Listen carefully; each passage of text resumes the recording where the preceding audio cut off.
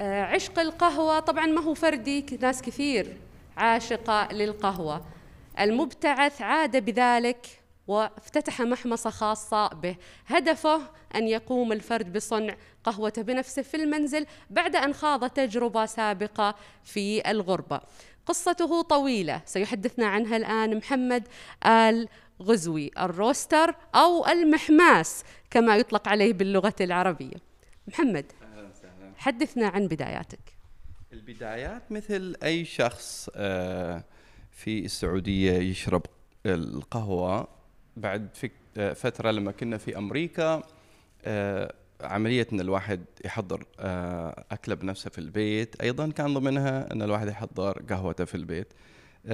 هذا الأمر خلاني أقترب أكثر من موضوع تحضير القهوة وفهم أكثر آه، القراءة. أيضا كانت عامل وهي موضوع اللغة. اللغة الإنجليزية كانت عامل من العوامل أن الواحد يعني يدخل في الجانب هذا ويفهم تفاصيل أكثر فيه. فعملية القراءة والبحث والتجارب هي اللي قادتني إلى الموضوع هذا. آه، مفاهيم مغلوطة دخلت على القهوة. ما الذي لاحظته؟ هو فهم الجودة.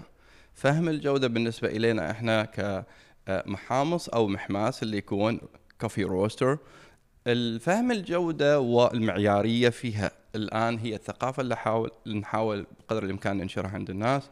آه، موضوع مثلا طزاجة القهوة طريقة التحضير السليمة إلها في المنزل مثلا لو كان حب أحد يحضرها أو في المكتب في العمل. فهذه مفاهيم ضمنها أن الناس مثلا تضيف الإضافات اللي تخرج المشروب أنه يكون يعني نسبة القهوة فيه حاضرة إلى مشروبات أخرى في الحليب والإضافات السكرية.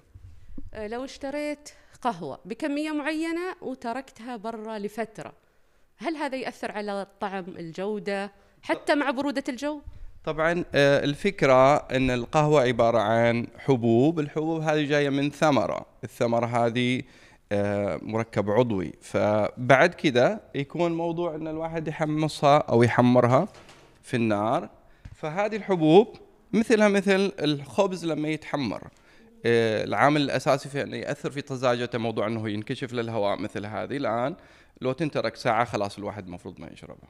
فيكون أن آه، الطزاجه فيها مهمة يأثر فيها الهواء الأكسجين عامل الأكسدة مثل الخبز يأثر فيها الرطوبة الحرارة أيضا. ولذلك طريقة حفظها كقهوة تستخدم لها أكياس خاصة مثل هذه تكون مغلقة معتمة وإلها قفل. تحبس الهواء إنه ما يدخل إلها وتكون بهذه الطريقة محفوظة آه، بالكامل لمدة يعني ماكسيموم إلى ثلاثة أشهر مدة أطول مدة ثلاثة أشهر إذا حفظت بشكل سليم ممكن تعطي جودة في الشرب. هي تظل تشرب كمشروب ولكن جودتها تكون أقل.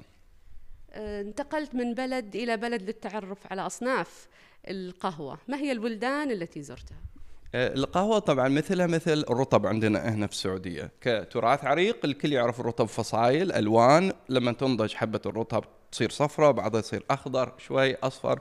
الفكرة نفسها موجودة في عالم القهوة أيضا. فكانت لنا زيارة إلى كوستاريكا كعالم مشهور في عالم القهوة أيضا إلى البرازيل إلى إثيوبيا المشهورة.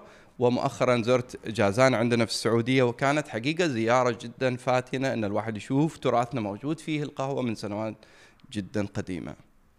القهوة المختصة الآن كثير يستخدمها.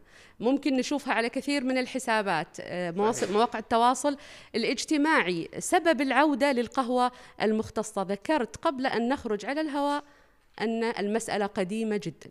القهوة المختصة عبارة عن جودة معينة في القهوة لكن القهوة بحد ذاتها مشروب موجود من قديم الزمان عند أهالينا. يعني مئات السنين القهوة هي منتشرة في جميع الأرجاء بالنسبة للعالم.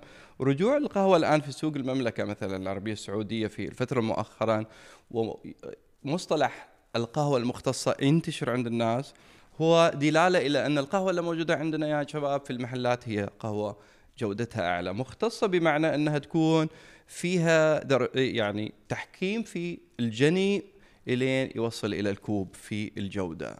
تكون آه، تعامل معها تعامل خاص آه، يحفظ جودتها من المزرعة لين توصل إلى المحامص وبعدين المستخدم الأخير. طيب استخدام الفلاتر أو التقطير في الفترة الحالية نشوفه بكثرة. الآن الموجة هذه اللي بدت فيها القهوة المختصة عالميا خصوصا في أمريكا يسموها الموجة الثالثة. فإنها تصير آه، صار في رجوع إلى الأدوات القديمة آه، اليدوية. هذا مثلا من شركة مشهورة أمريكية اسمها كيمكس الشركة موجودة من 1941 ميلادي. آه، الفلاتر موجودة ك ممكن الواحد يبحث عنها في ويكيبيديا. هذا الشكل مثلا يسمى مليتا. مليتا فلاتر مليتا موجودة من 1907 أو 8 ميلادي. يعني أكثر من قرن الآن القهوة تفلتر بالورق. لكن الآن الناس بدأت ترجع وتجرب بشكل أفضل أنها تحضر قهوتها بالطرق القديمة لكن بمفهوم مختلف وحديث. شكرا محمد.